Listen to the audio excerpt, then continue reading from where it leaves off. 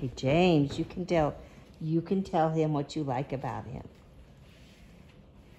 Um, I'm really glad he, he was my friend, but I never been in this class, so I, I would like to sit next to him.